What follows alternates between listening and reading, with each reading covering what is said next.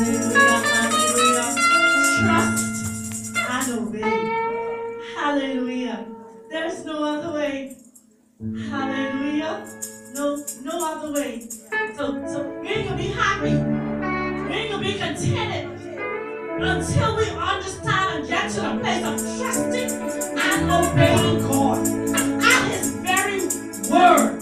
Glory, hallelujah. You don't understand spirit, but God had to use that song to connect with a message that He wants to give. I had one message in my mind talking about riding out your storm and, and waiting in the storm. But, but, but he decided to, to make a switch on me.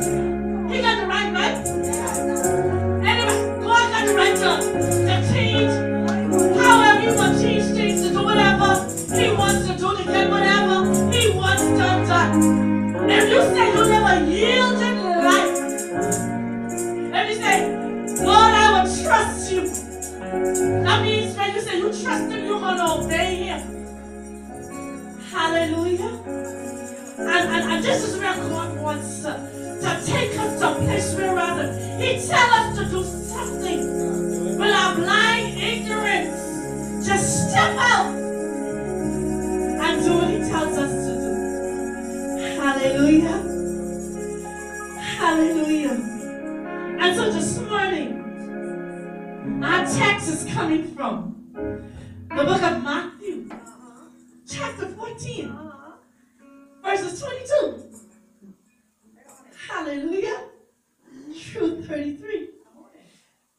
Hallelujah. And, and, and, and just about trusting and obeying. Just about trusting and obeying. Hallelujah, Jesus. Glory to God. Father God, even now in the name of Jesus. Oh, Father, hide thou me in the cliff of the rock. Let them not see me, Chamine, Apostle Roberts, Father God, but let them hear you through me, God. Let the words of our mouths and the meditation of our hearts, O God, be acceptable in thy sight, our God, our strength and our Redeemer. Father God, as this word be proclaimed today in the ears of the hearers, Father God, I pray, oh God, that it will grab root, that they will trust and obey, that they will grab hold of your word, oh God, and run with it, Father God. Father God, give them exhilarating speed even now in the name of Jesus. Uh, give them, oh God, the strength that they need, oh God, uh, to chase and run after you and the things of you like never yet before. Uh, arise, oh God, and demonstrate your power. Do great exploits through these your people even now in the name of Jesus. Yes, Lord. Gideon started with 3,000. Then you brought him down to 300. uh, So I know that you can do a great work with the little that is here today, Father God. We don't look at the numbers, but we look at the God whom we serve, who is well able to do the math. Because you said, oh God, one would chase a thousand and two ten thousand. And if we do the math inside here today, oh God, there's more than two of us. So according to your multiplication, we can do hundreds of thousands in the matchless name of Jesus. So we thank you now for what it is you're about to do. And we give you the praise, the glory, and the honor. In Jesus' name. Amen. Amen. Hallelujah, church. I thank God for my space here. I thank God for the Holy Spirit who indeed is the head of my life. I thank God for Pastor Kelly and Elder Kelly and all of you fine members and followers of Salvation, Healing, and Deliverance Ministries. I thank God for you and your faithfulness because each and every one of us could have decided to stay in and, lay down. All of us are tired in some form or fashion. Cold, hallelujah. And to know me, I've been battling sickness from, from Sunday of last, actually Saturday of last week, to the point where I thought I was going to lose my mind. Head spinning. Can't get up out of bed. Can't eat nothing. Throat swelling up. Hallelujah. But you got to know that the, the weapon of our warfare is not carnal, but mighty through the pulling down of strongholds. And I had to start pulling down strongholds spirits, principalities, and powers and rulers that would want to shut us down and not cause us to speak. Glory to God. Hallelujah. Hallelujah. Matthew chapter 14, verses 22 to 33. And you know me, I will take off and land in, in quickly. Hallelujah. Verse 22. And straightway Jesus constrained his disciples to get into a ship and to go before him unto the other side while he sent the multitude away. Now y'all go to the other side. Let me send this multitude of people away. Go to the other side. I'm going to send the multitude away. Hallelujah, Jesus. And when he had sent the multitude away, he went up into the mountain apart to pray. And when he when the evening was come, he was there alone. So he sent them on, he sent them to the other side. Sent the multitude away. And then he ran in a little bit deeper to pray. Hallelujah, Jesus. But the ship was not, was now in the midst of the sea, tossed with waves, for the wind was contrary. And in the fourth watch of the night, Jesus went unto them, walking on the sea. And when the disciples saw him walking on the sea, they were troubled, saying, Is it a spirit? And they cried out for fear. But straightway Jesus spake unto them, saying, Be of good cheer, it is I, be not afraid. And Peter answered him and said, Lord, if it be thou, bid me come unto thee on the water. And he said, Come. And when Peter was come down out of the ship, he walked on the water to go to Jesus. But when he saw the wind boisterous, he was afraid and began to sink. He cried, saying, Lord, save me. And immediately Jesus stretched forth his hand, caught him, and said unto him, O thou little faith, wherefore didst thou doubt? And when they were come unto the ship, the wind ceased. Then they that were in the ship came and worshipped him, saying, Of the truth about the art of the Son of God. Thou art the Son of God. And if I was to give you a, a subtopic or a topic to hold on to, hold on to, Hallelujah. hold on to, going beyond barriers. Sometimes our walk with God will take us to go beyond barriers. This is what He's calling us into in the season of our life. What is the norm? That's why I was looking at Pastor Ken. I said, Lord, this woman all up in my business from she walked in this door. She was all up in this message. But not knowing this, like I always say, I know when God gives us a word inside this house, He don't never just, He always bring confirmation that you're down the right aisle, in the right pew, in the right church, to the right people to give them this word. So it was just me and Pastor Kelly inside here. This word had to be given out. This had to be decreed in the atmosphere because we're about to go beyond uh, denominational barriers. Uh, we're about to go beyond uh, religious barriers. Uh, we're about to go beyond uh, our regular circumstances uh, and situations that seems to be the norm to someone else, but it's the unusual. See, it was okay for Jesus to tell them, come let y'all go to the other side. It was fine in that even sending them away because he sent them away before. Yes, yes. He dealt with a multitude by himself before. Mm-hmm. He went into the mountains and prayed by himself before. There are normal situations and circumstances. We all used to some kind of being by ourselves,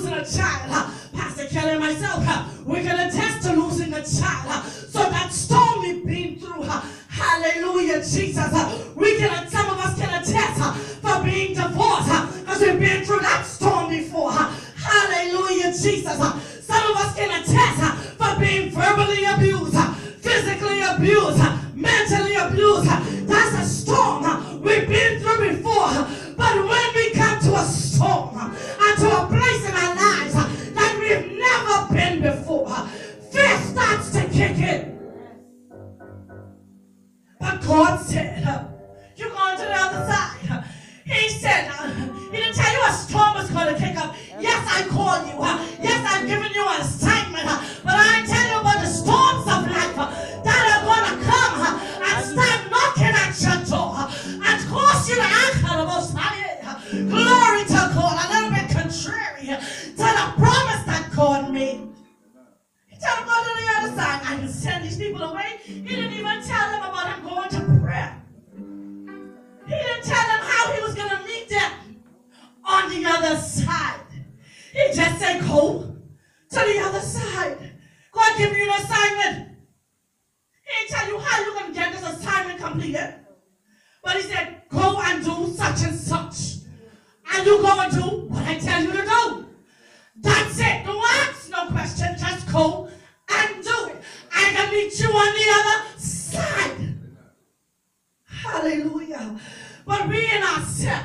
We let people come and ask us all kind of questions. Did God really say? Did he tell you that? Where did you find that in the scripture? Hallelujah. You sure you ain't hear yourself? That might have been an indigestion you had. Hallelujah, Jesus. But could I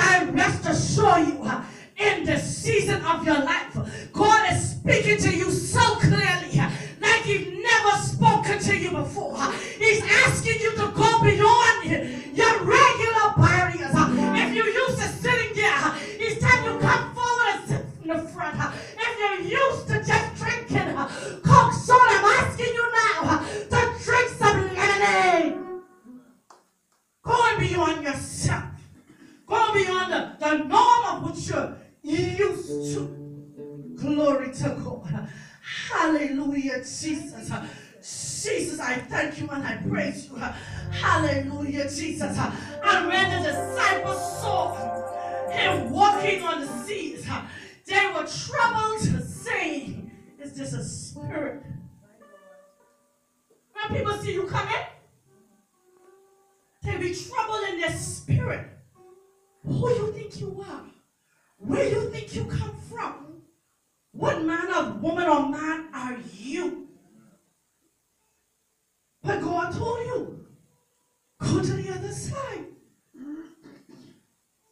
Hallelujah. They be fighting at your very appearance today because what you doing, you know, they don't see the God whom you serve. They ask if there's a spirit because they can't believe it's a man. They know it's the spirit of the Lord on you.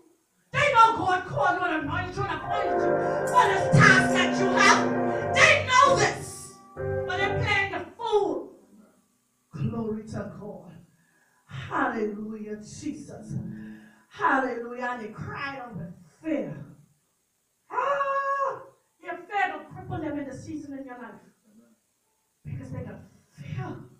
When the word come out of your mouth, it coming out with fire. And they can see the manifestation of what you said. Hallelujah. But straightway Jesus spake unto them, saying, Be of good cheer. It is I.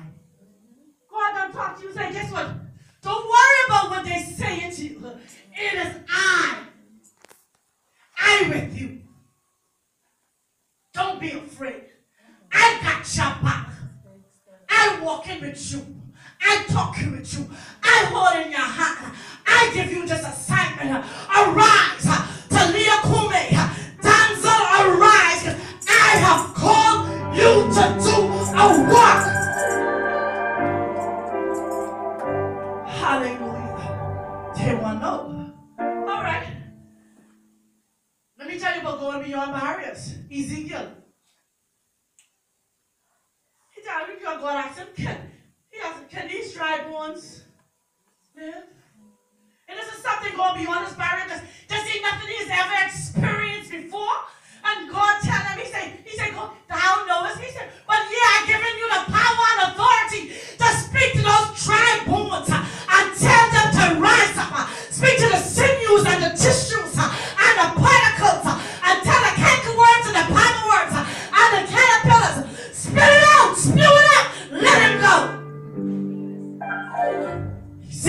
everybody was told.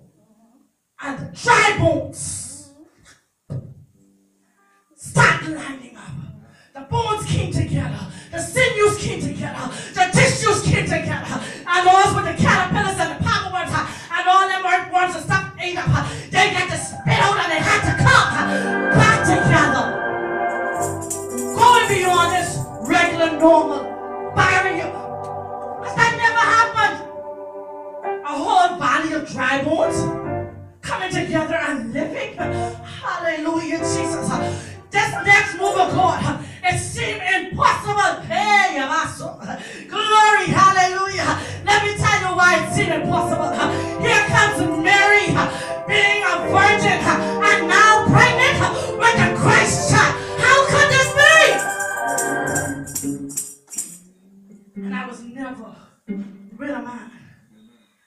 Can I get pregnant? And you know, man never touched me. The power to keep my drawers up. Kept it up. Hallelujah. The Holy Ghost power kept me living pure. Kept me living holy. And you can tell me going to be pregnant with a child and his name will be Jesus. And I know no man. And now I man. Know whether I'm or woman. And I what?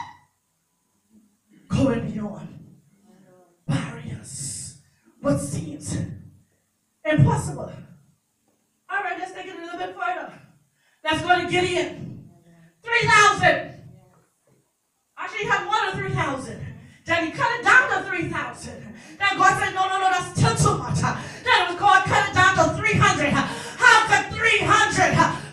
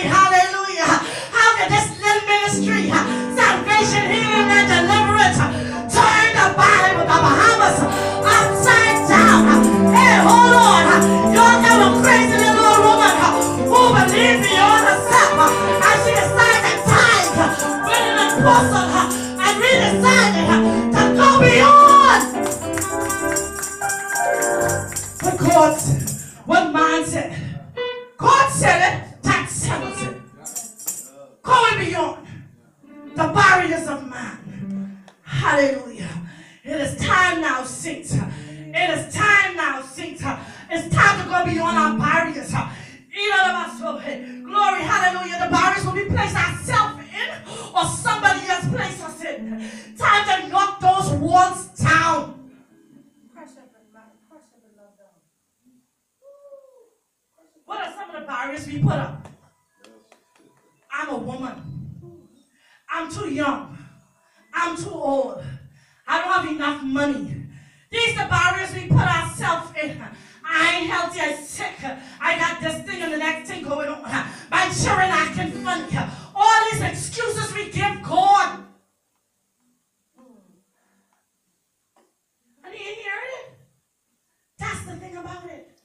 He said, Yes, I still you. I call you to do a great work. If God said it, then it can be done. It will happen. God said it. That settles it. I tell people, the question always comes, how you get to be an apostle? I said, listen, I call myself. Knowing me and in myself, I was happy being in one little corner, worshiping and praising God, doing my little dance, serving. And that's basically what it is. It's a servant position any which way.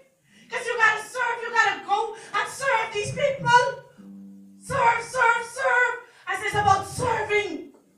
Answering a call that you didn't even want to answer the phone to. You know, sometimes your phone ring and you see on the ID call who it is calling, so you say, I call, I know I call them back later. But Jesus said, can't do that. Because he don't tell, he don't, he don't stop ringing. Bells of heaven, how sweetly they ring. Oh God, how, how Jesus don't not stop. I call you. I call you prophet after prophet, pastor after pastor, apostle after apostle. You call to do work. You call to do people who you done talk about, talk down and say, ain't nothing in them. Come and come right to God call you to do a work. I'm like, God, could you just leave me alone, please? I'm into this church thing. Let me just serve. Until he decided to give me a Paul visit in the upper room. In in my bedroom. Hallelujah, Jesus. I never hear somebody shouting my ass so loud before in all my days. uh, To the point where as I wrench my clothes uh, in his presence, I say, Here am I, Lord. Uh, I'm naked and not ashamed. Jesus. Walter, hallelujah. It's time for us to look at obstacles as opportunities. Time for us to look at walls as bridges to cross. It's time to look at dead ends as new beginnings. Step out. Take that chance to see God calling you out of your normal or your ordinary to extraordinary to exceptional. Time to get beyond the barriers. Time to move. You are different. You are unique. You are peculiar. You were not made to fit in a box. Time to step out. Time to say like Peter did. Lord, if this be thou, bid me come unto thee on this water. He said, bid me just to come. He said, bid me to come on this water. You have to remember the water was rough. It started acting control. Bid me to come on in the roughness, in the hardest situation, in the hardest place that I can ever come out of. You can imagine this. You got three young children. Hallelujah, Jesus. And all of them depending on you to feed them. And God telling you, quit your job.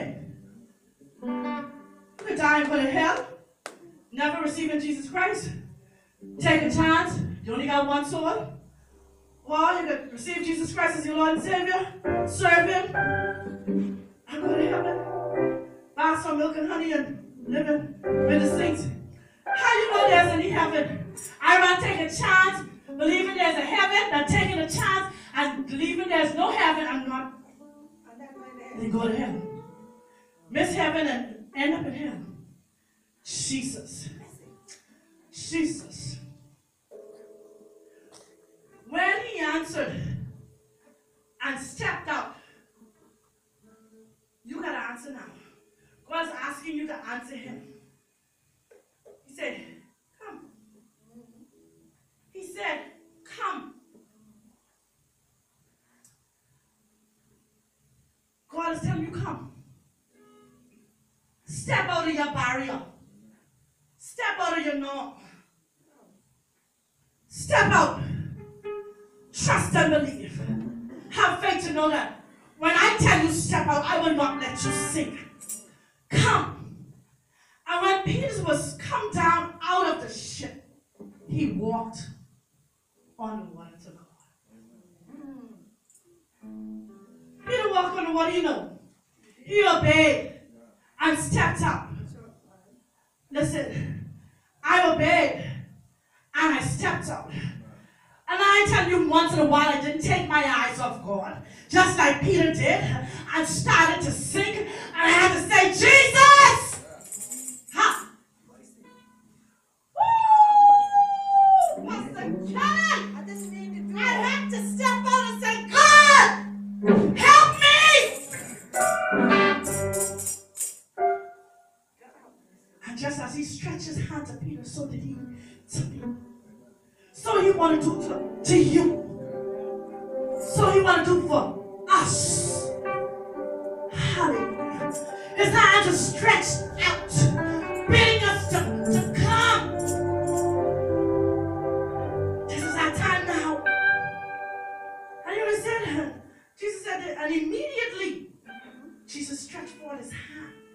And caught him. Not days later, minutes later, immediately, as he said. See, just as you catch yourself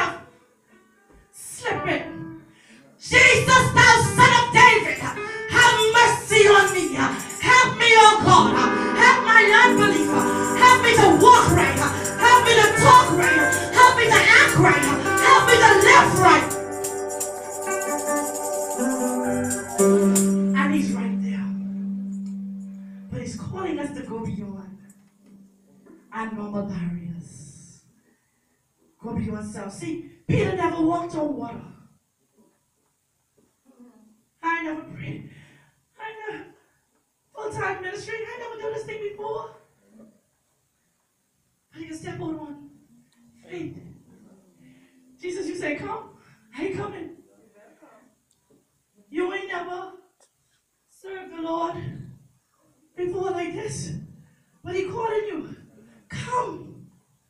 You never was a minister inside no, no he calling you. Come. You'll never, never take the lead and preach a word. But God said, I'm calling you to, to declare a word in the atmosphere. You better preach.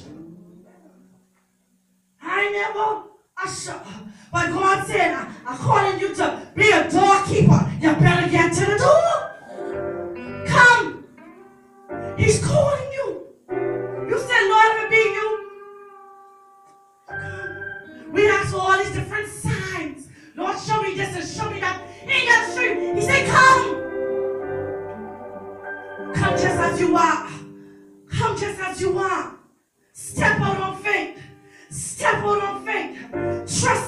His word. Trust him.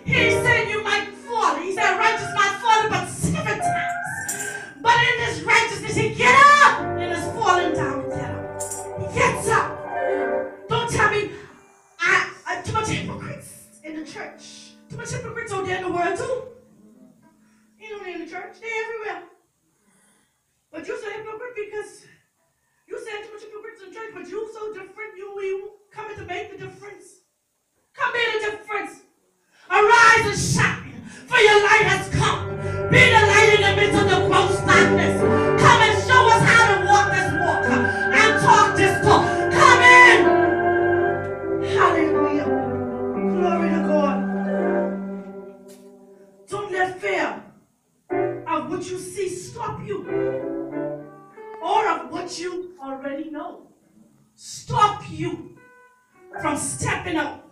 See, let me tell you something. Peter could said, that storm, that's too much for me to step out on. Lord, when the storm calm down, then I come out, I, then I come out of the ship to you. But he, all God had to tell him, all Jesus said was, step out. What did the step come? One word, come